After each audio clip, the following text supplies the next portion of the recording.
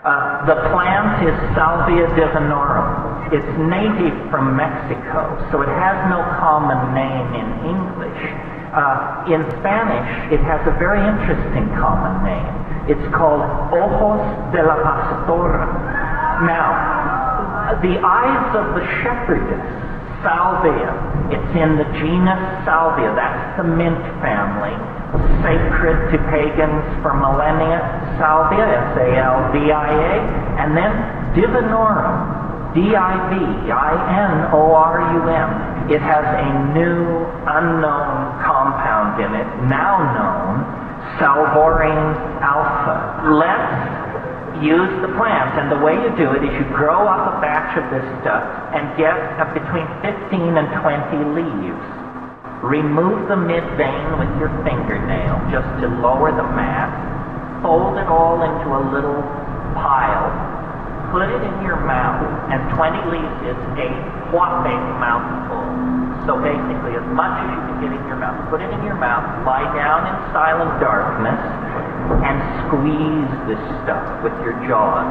Tastes like it's horrible. It's not as bad as ayahuasca, but it's horrible but you could acquire a taste for it. So lie down in darkness where you can see a digital watch. Uh, one of these red flashing jobs like the Kmart deal, and and then let it. Don't swallow it, but just squeeze it and masticate it.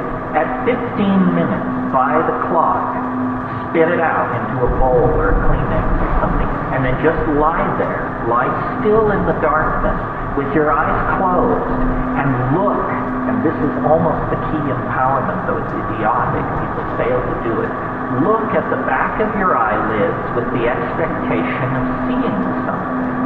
And when you do that, after just three or four minutes, there will be what uh, we professionals call streaming which means amoeboid lights of after image colors, the chartreuse purple flowing by. And about three minutes after that, it will deepen very, very quickly into extraordinarily bizarre, uh, dare we say it, fairly DMT-like hallucinations.